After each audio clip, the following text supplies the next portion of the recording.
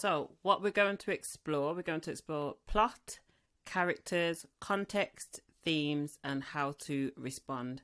But first of all, I've given you 10 keywords that you can use in your response. But I want you to do this task on your own if you want to by defining the words that I've given you and seeing how you can use them in your response, but it's optional. So we're going to start off with plot very, very quickly.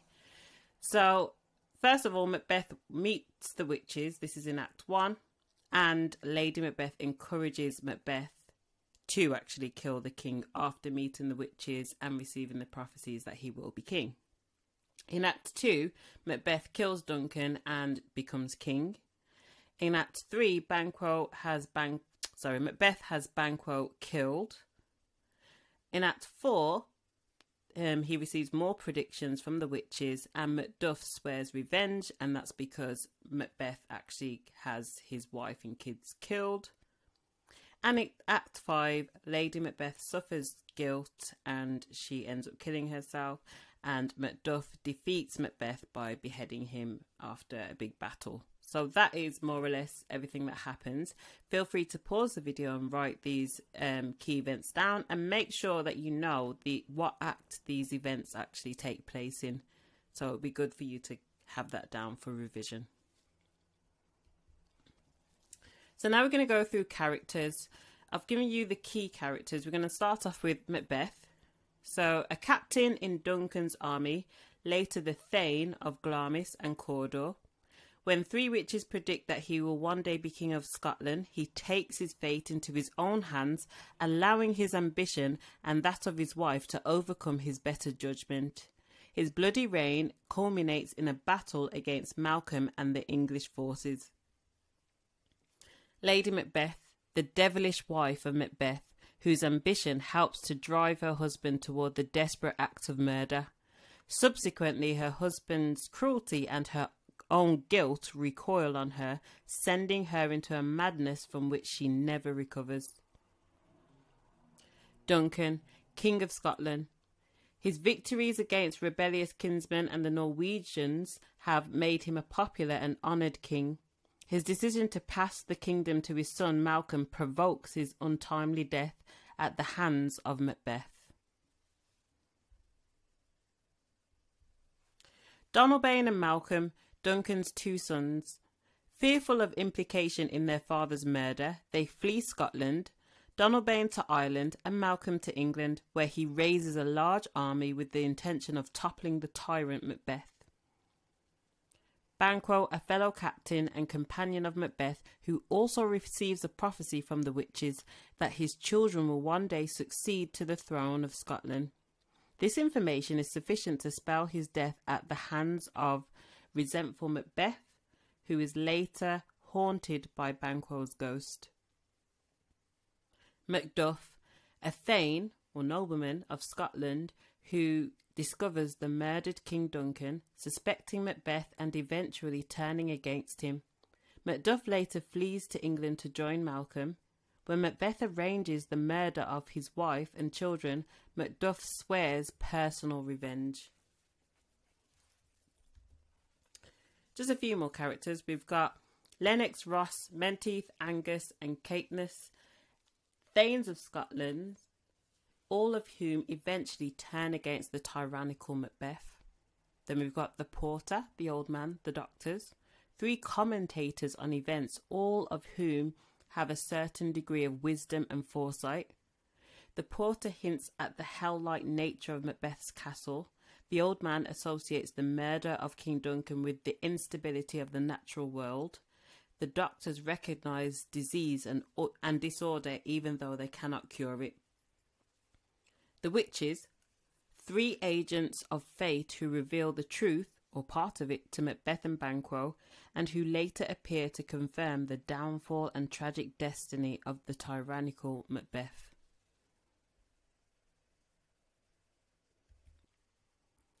Macbeth is known to be a fierce, brave Scottish soldier. He is portrayed to be a ruthless warrior, slaughtering anyone in order to serve and be loyal to his country. He is also said to be dedicated and loyal to his wife, Lady Macbeth.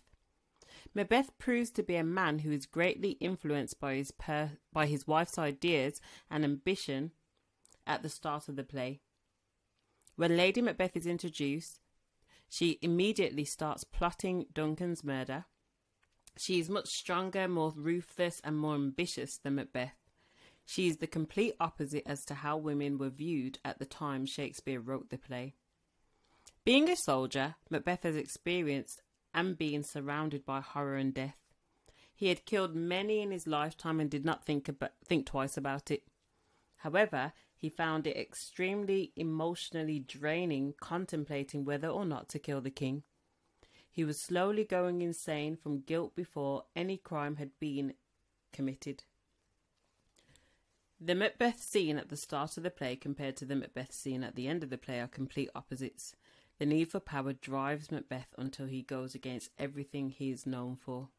He becomes power hungry, greedy, ambitious. It seems as though he becomes insane mainly because he is feeling both ambition and guilt at the same time. Historical context Macbeth is a play written around 1606 by William Shakespeare. Shakespeare was writing for the theatre during the reigns of Queen Elizabeth I and King James I. The plays he wrote around the time Queen Elizabeth was in control, such as Midsummer Night's Dreams, contains themes of confidence, happiness, and love.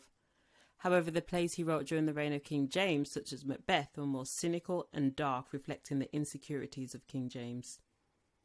Macbeth is known as one of Shakespeare's most strong and forceful plays. The play was written in 1606, a time in history that was called the Elizabethan era. The Elizabethan age was an age of discovery and of expansion. Shakespeare's plays were written for the average man or women in the street. The concerns of the time were reflected in Shakespeare's plays, many of which feature kings and queens struggling to hold on to their power or having it taken from them by someone considered considered evil. The question whether one person's ambitions should or could be important than the common good is clearly evident in Shakespeare's play Macbeth. In Act 2, Scene 1, Macbeth's ambitious thoughts are slowly forcing him to commit the crime. Shakespearean era, witches were associated with the dark and death. They were said by many Christian countries to be agents of Satan and performing evil acts at night. When Shakespeare wrote Macbeth, witchcraft and supernatural happenings were of high interest. King James I was highly engaged with the idea of witchcraft and even wrote a book about the topic. He used them for his play, and many of his audience would have believed in them as evil servants, trapping the power of men and women. In Act 2, Scene 2, Shakespeare mentions witchcraft through the soliloquy Nature seems dead, and wicked, wicked dreams abuse. The curtains sleep, witchcraft celebrates, pale Hecate's offerings, and withered murder. Here, Macbeth is using a direct link to Hecate, who is the goddess of witches for the ancient Greeks.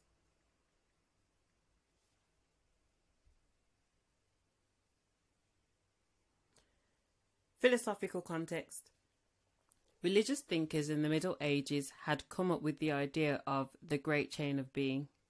This was a belief held by many that God had designed an orderly system for both nature and humankind. Everything had its place in the Great Chain of Being, it was considered a sin against God for anybody to try and alter their station in the chain. The divine rights throughout Shakespeare's time and beyond monarchs were seen as being God's deputies on earth, having a divine right to rule. The monarch had absolute power, and an attack on him or her, even a verbal one, was considered to be a treason. In Macbeth, it was a shock to the audience when Macbeth had planned to kill the King of Scotland. This meant at the, that time it would have been an incredibly dangerous crime to commit as it was going against all beliefs. In Act 2, Scene 1, Macbeth was feeling guilty even before he had committed the crime because he knew that it was against God. In that time, it would have been one of the biggest scandals ever committed in history. He was disturbing the great chain of being, altering the complete nature of mankind. Therefore, Shakespeare wrote this scene to show how the craving for power led him to do something never ever heard of. This is another reason as to why Macbeth began to see hallucinations and vision of the mind, mainly from absolute fear for all he is going against. So I've got a little context quiz I'd like you to attempt just to see if um see what you can remember to be honest with you. So if you can pause the video now and have a go at filling in the blanks, I've given you the words on the right hand side um, and we'll look at the answers in a second.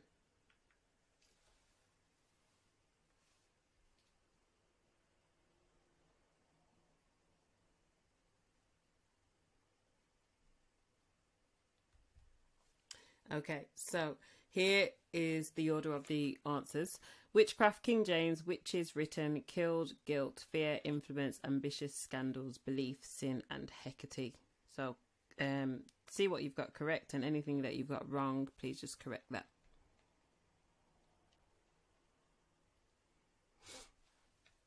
Okay, so now we're going to go on to themes. Here are the main themes that I wanted to introduce you to ambition, betrayal and revenge, the supernatural, fate and free will, appearance and reality, guilt and madness. So I'm going to go through this in detail, so you might want to make notes on this. So, when we talk about ambition, it means a strong desire to do or achieve something. How does Shakespeare present Macbeth's ambition?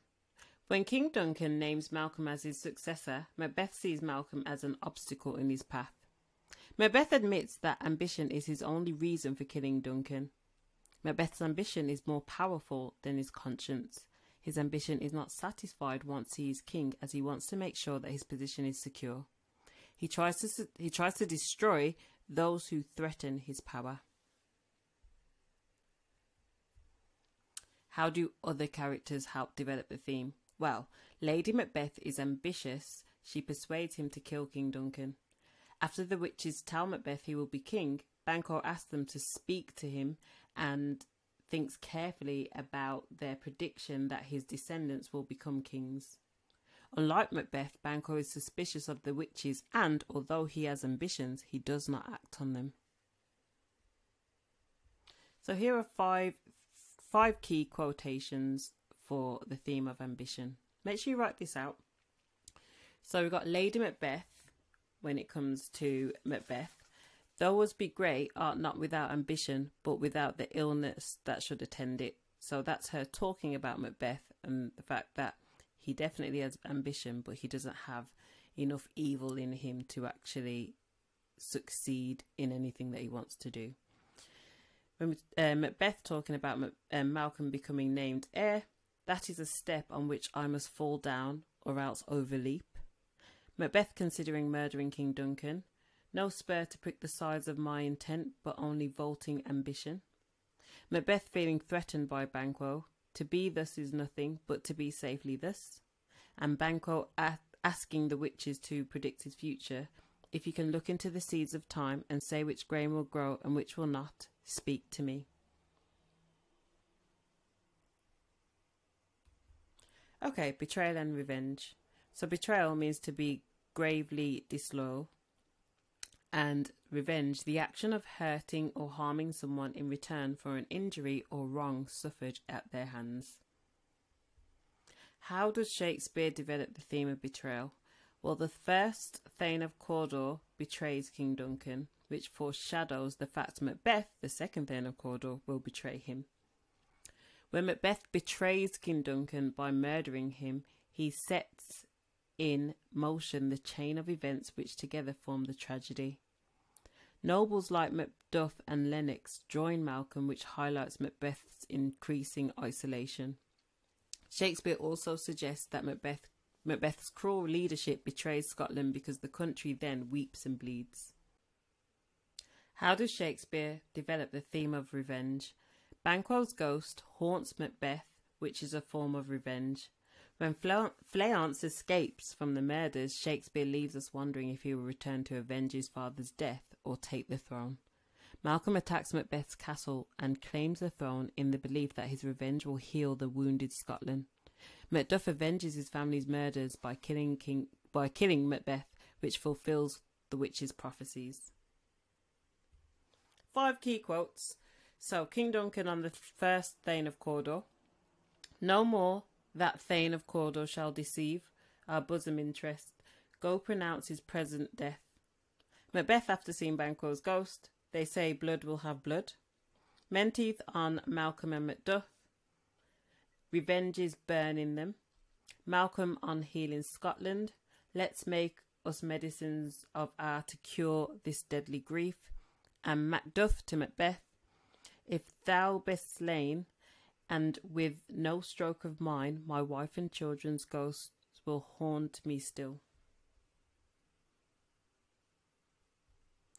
Appearance and reality. Appearance is the way that someone or something looks. Reality is the state of things as they actually exist, as opposed to an idealistic or notional idea of them. How does Shakespeare develop the theme?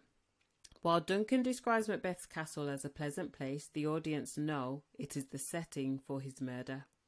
When Macbeth and his wife pretend to welcome the king to their castle, King Duncan trusts them. The witch's riddles make Macbeth believe that he has a charmed life, but their words foreshadow his downfall and death. Malcolm pretends to be a bad leader to test Macduff, which suggests that he is a suspicious character.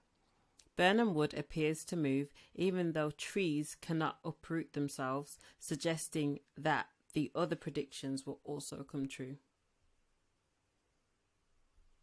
What clues does Shakespeare give the audience? Shakespeare uses soliloquies and asides to show the audience his character's true thoughts. He also allows the audience to overhear private conversations such as Macbeth and Lady Macbeth's discussion about murdering Duncan. Shakespeare uses dramatic irony. For example, when Malcolm suggests that Macbeth has done nothing to harm Macduff, but the audience knows that Macduff's family has already been killed. Macbeth is the only one that can see Banquo's ghost and the dagger, which suggests they may not be real. Five key quotes. The witch's ambiguous language, lesser than Macbeth and greater. Macbeth on disguising his true intentions. Stars hide your fires, let not light see my black and deep desires. Lady Macbeth on a deadly disguise, look like the innocent flower, but be the serpent under it. Macbeth on deception, false face must hide what the false heart doth know. Birnam Wood starts to move. I looked toward Burnham, and anon methought the wood began to move. Guilt and madness. Guilt is the fact of having committed a, spe- a specified or implied offence or crime. Madness is the state of having a serious mental illness. How does Shakespeare present Macbeth's guilt and madness? Well, Macbeth is not afraid to kill in battle, but he is distressed after killing King Duncan and claims every noise appalls me. He thinks he hears a voice saying, Sleep no more. This probably is his guilty conscience. His guilty conscience may also produce his visions of the dagger and Banquo's ghost. He almost reveals his guilt when he sees the ghost. Macbeth shows signs of paranoia when he sees Banquo as a threat. And in Act 5, Macbeth shows little guilt, but he is reluctant to fight Macduff because the murders of Macduff's family are on his conscience. How does Shakespeare present Lady Macbeth's guilt and madness? Initially, Lady Macbeth seems to feel no guilt about killing King Duncan and is critical when Macbeth feels distressed. In Act 5, her guilt seem, sees her sleepwalking and carrying a light because she fears the darkness. She probably commits suicide because of her troubled conscience. Five key quotes. Lady Macbeth after Duncan's murder. These deeds must not be thought after these ways, so it will make us mad. Macbeth's mental disturbance. Methought I heard a voice cry, Sleep no more. Macbeth to Banquo's ghost. Thou canst not say I did it. Never shake thy gory locks at me. Lady Macbeth's agita- agitation whilst sleepwalking. Out, damn spot, out and Macbeth's loss of guilt, my slaughterous thoughts cannot once start me. Fate and free will. Fate is the course of someone's life or the outcome of a situation for someone or something seen as outside their control. Free will is the power of acting without the constraint or necess- of necessity or fate, the ability to act at one's own discretion. How far does Macbeth determine his own fate? Well, Macbeth could have waited to see if he became king without taking any action. Macbeth has plenty of reasons not to kill King Duncan, but he goes ahead with the murder because of his ambition. Banquo is Macbeth's friend, but Macbeth decides to kill him and Fleance to secure the, fro- the throne. An apparition tells Macbeth be wary of Macduff, but it does not tell him to murder Macduff's wife and children. Macbeth fears he is destined to die when Macduff finally confronts him, but he chooses to fight rather than surrender.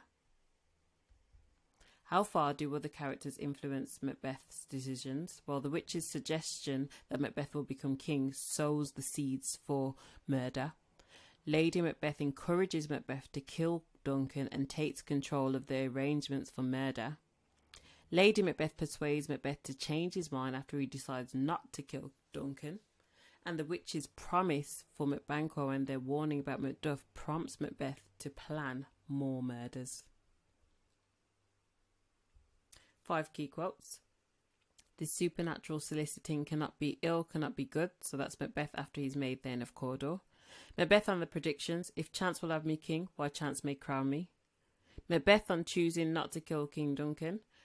We will proceed no further in this business. Macbeth plotting murder.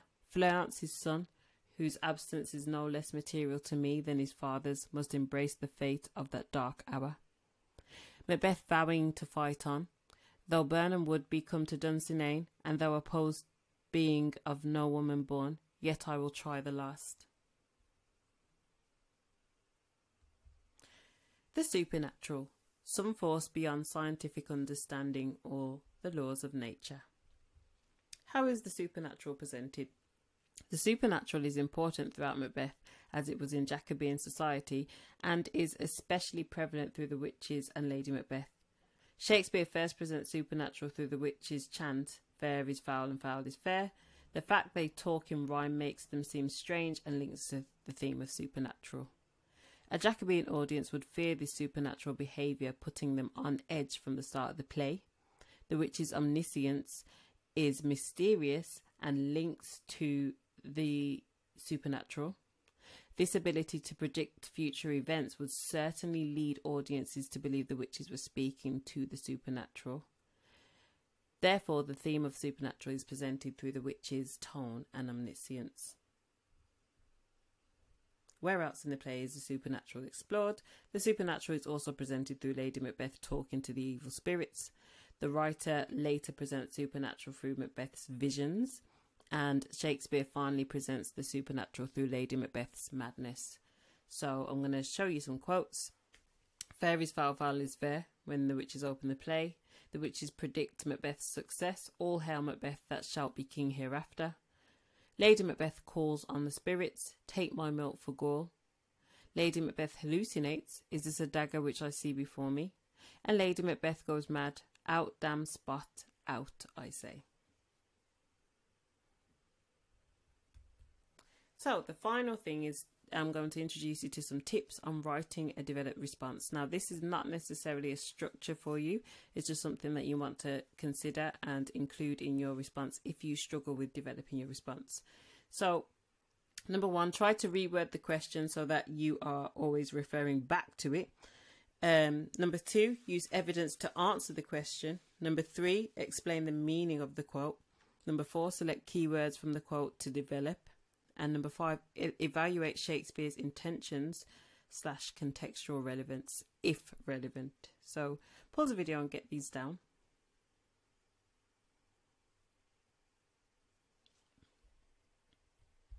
So I've got some example responses. I've got four for you. So I'm just looking at four um, themes and you can see I've color coded exactly where I've actually um, reworded the question, used evidence, explained the meaning, selected key words, and um, looked at his intentions and linked to context if relevant. So, the question, an example question is How does Shakespeare present ambition?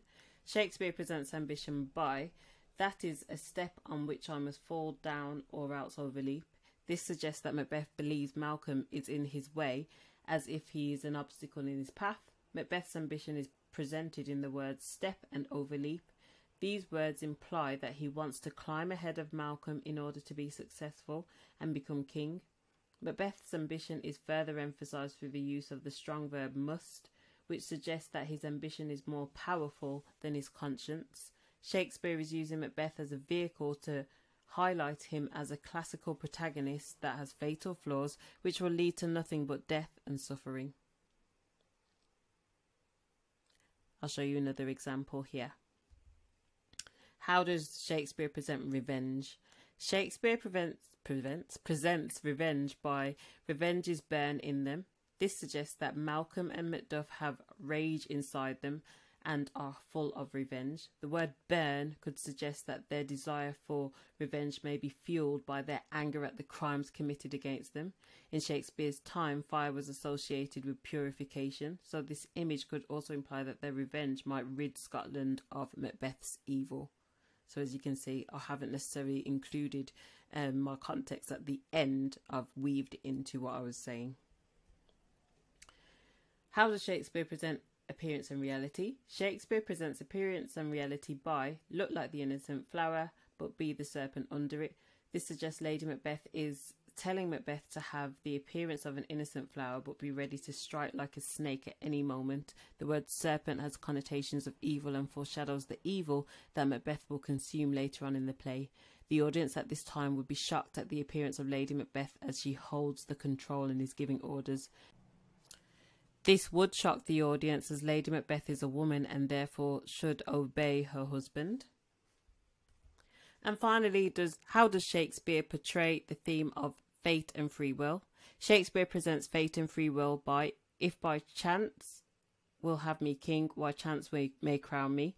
This shows Macbeth's weak defense against his imagination in the hope that if destiny chance will get, have him to be king, then destiny will do the dirty work and he won't have to lift a finger. Therefore, chance may crown him without his stirring in his own service. In particular, the subjunctive mood of may suggests that Macbeth may still have to do it himself. The repetition of the word chance could further highlight Macbeth's feeling towards the prediction and could highlight that he will not become he not, will not be leaving it to fate and will make the prediction come true. So that's all I've got for you guys. I hope that this has helped you in some way. And I'll see you soon. Bye.